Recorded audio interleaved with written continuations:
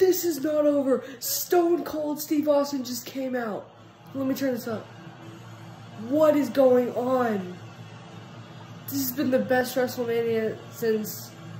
Dang, I don't know. I think like the best one I've ever watched. I don't know. The one that I went to in New Orleans was pretty. He's fighting with Austin Theory. Stone Cold is fighting Austin Theory right now. It's not an actual match. They're just brawling. Oh my gosh. Stunner. Stunner. Now it's Stone Cold and Vince McMahon face to face.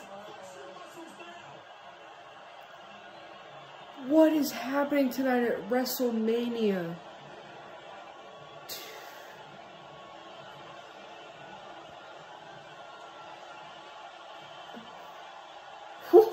I'm just in shock right now.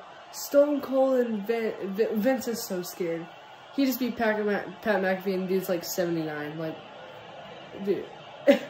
Stone Cold versus Vince right here, right now. Let's go.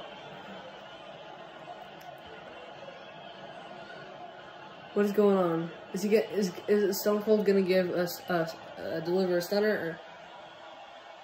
Oh, drinking beer now. Okay. Hey, gives a beer to Vince. I like that. Respect. No, I know it's gonna happen. Stone Cold's gonna give Vince a stunner. It's pretty obvious. Like, come on now. Does Stone Cold have his own beer? Oh. What is going on? Watch Undertaker come out.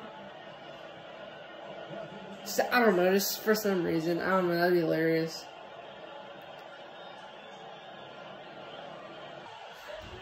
There it is. That's the stunner. Come on, give it a, give him the stunner. Oh, stunner to the chairman. You hate to see that. Actually, love to see that. That was hilarious. That's the moment of the night right there. Moment of WrestleMania. And that and Cody Rhodes. That's great. That is great. Love to see Stone Cold